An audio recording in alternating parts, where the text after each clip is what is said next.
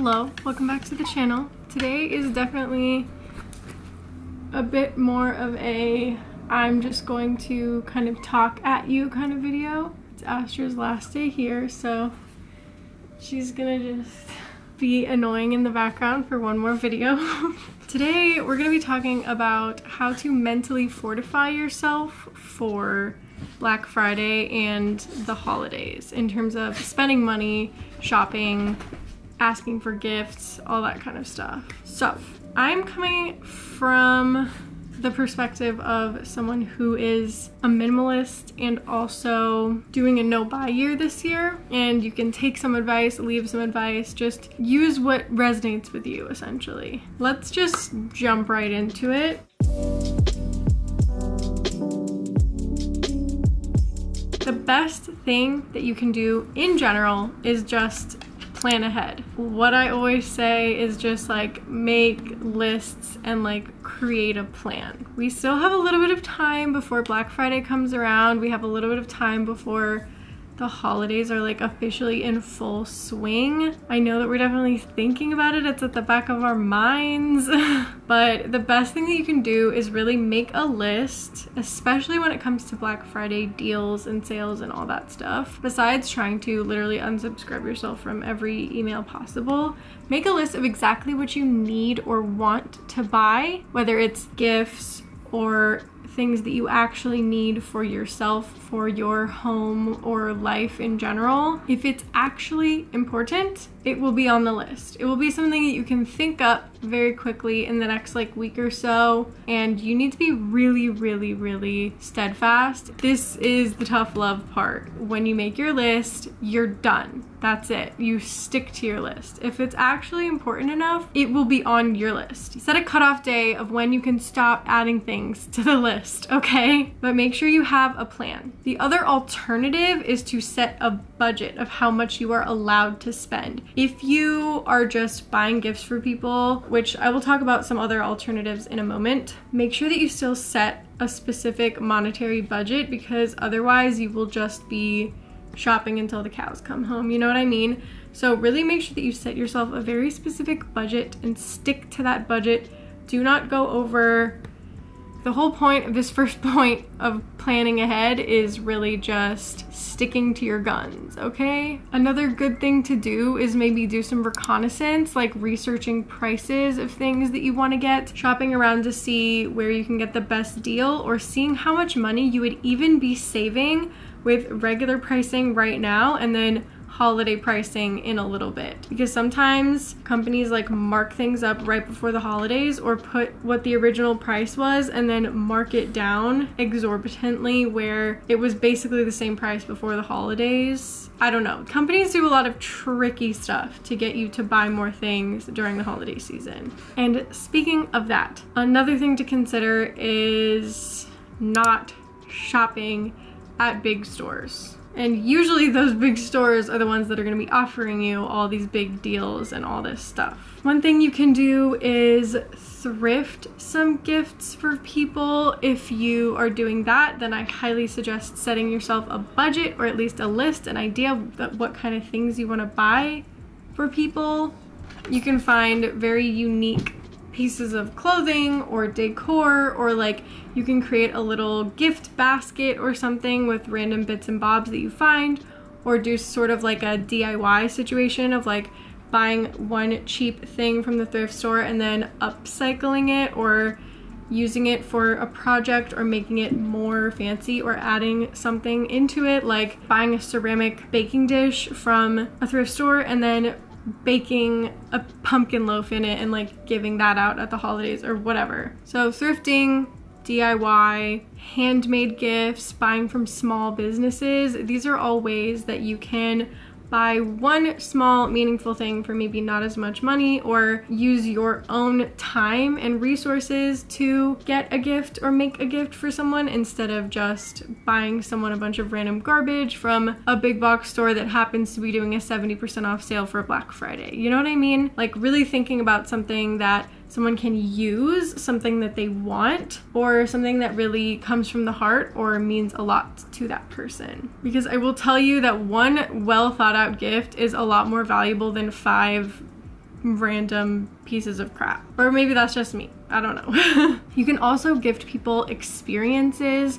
If you have like younger members of your family, you can gift them like a sleepover at your house, or you can gift them a trip to the movies, or something along those lines that's like a bit cheaper, but something that's meaningful, and you can spend quality time with that person or you can get them gift cards to their local gym or like for dance classes, you can get them passes for that or their local museum or aquarium or something. You can get them a concert ticket, like whatever kind of thing or activity they might like to do throughout the year.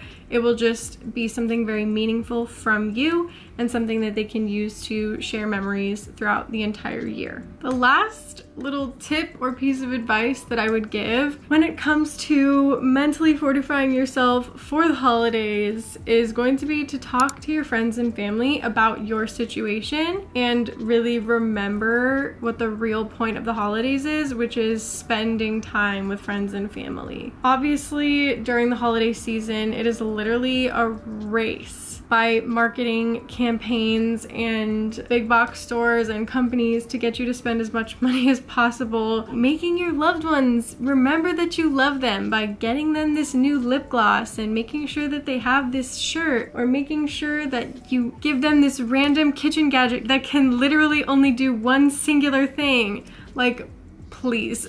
you really just have to remember that the point of the holidays is spending time with the people that you love, being thankful that you're with them. Doing meaningful things with them is going to be more valuable than buying them a bunch of random things and then going into debt and having them not really care about the items that you're giving them, forgetting that they're there or not using them or whatever. You're spending your hard-earned money, they're spending their hard-earned money you can either decide to do something all together or you can maybe talk to your family and see if you can work out a plan of let's do like a secret Santa or a gift swap where one person gets a gift for one other person instead of you buying gifts for every single person in your family. Again, you can like craft things for people, you can like knit or crochet things, but that also takes up a lot of time, a lot of yarn, and you know, it's it's difficult. You can make them food, you can make them limoncello like I was saying earlier this year. There's a lot of options, but my boyfriend's mom actually offered me a series of pottery classes for my birthday and literally could not think of a better gift. Like that is something that means a lot to me and pottery classes aren't super cheap so it's hard to always get the time or the energy or the money to be able to go.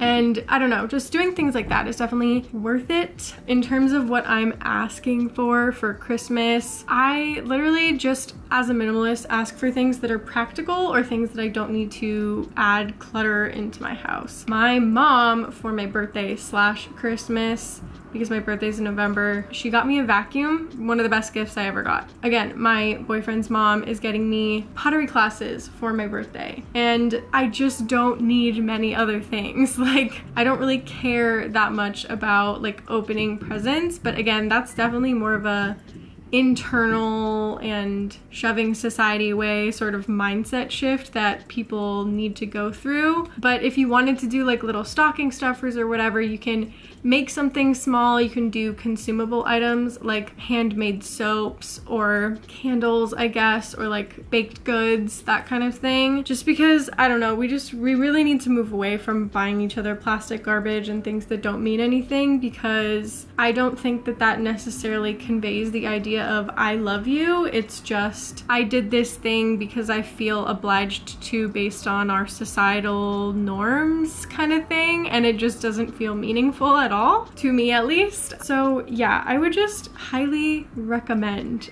to really think about making a very set plan if you need to buy things for yourself for your home and you're waiting for something to be on sale for something that you really need that you haven't bought yourself this year or whatever. Either making a list of things that you genuinely, genuinely need and will use as like a list for other people to gift you or asking them to get you experiences or you doing the same for other people. Again, I really must emphasize to make a plan and stick to it. Remove yourself from marketing emails. If you don't need to buy anything for this holiday season, just don't even be anywhere where you can be tempted during that time. Remove yourself from the internet Black Friday through Cyber Monday. Like, do what you gotta do to really remove yourself from that stimuli. One thing that I will say to the people that have family members where gift giving is their love language and the only thing they do is just give you random crap that you don't want, need, or use, just you need to straight up tell them, I am very particular with the things that I own. If you give me something that is not on this very specific list that I have given you, I am probably going to declutter it. So you might as well save your money and not buy it because I'm not going to keep it if you give it to me. Just be really, really brutally honest because I've essentially done that with my family where I'm like, well, they watch my videos and they see that I brutally declutter many, many things. So I think they've figured out at this point, unless they ask me very specifically what I want, the thing that they've just thought off the top of their head to gift me is probably going to get decluttered. There are certain things that I've given them free reign, like tea towels or like socks. If someone gives me some of those, like you always need socks and tea towels. I'm rubbing through my socks all the time because a lot of the socks that I own currently are not very good quality. So I'm slowly trying to replace my socks with better quality socks so I don't have to continually replace them. And like tea towels, no matter what you do, you just use the crap out of them and then eventually they turn into rags. It's the natural life cycle of a tea towel anyway. Being a lovely tea towel to being a rag and then becoming scraps and whatever. So really just talking and communicating your needs and boundaries with the people in your life. And even if that means like telling some of your friends that you're close with, like, hey, I love you all so much, but like, let's all not give or exchange gifts this year. Like, I would much rather meet up and all do a dinner together or something really just figuring out things that, you know, will fit your budget, will fit your lifestyle, will fit all the things that will make everything more meaningful to you. Again, the key word here is intentionality, making a list, sticking to your plan. I feel like I'm reiterating and harping at this point. I will probably just end the video here because I, I think that I've gotten my point across. Hopefully this video was helpful. It's just a gentle and basic reminder of the things that we all kind of know already. Nothing revolutionary in this video, but I just wanted to come on here and remind you that it's gonna be okay. We can get through this holiday season unscathed. Put your credit cards in blocks of ice, give them to your family members to hide from you if you need to. Just do whatever you need to do to really resist the urge or set up really, really, really strict, strict boundaries for yourself in terms of shopping for the holidays. So thank you so much for watching today's video. I will see you in the next one. And we will wrap up all the beautiful things about the no buy year and chit chat a lot about all of that. But until then, I'm sending you all my love because we are all just trying our best out here, all right? Bye.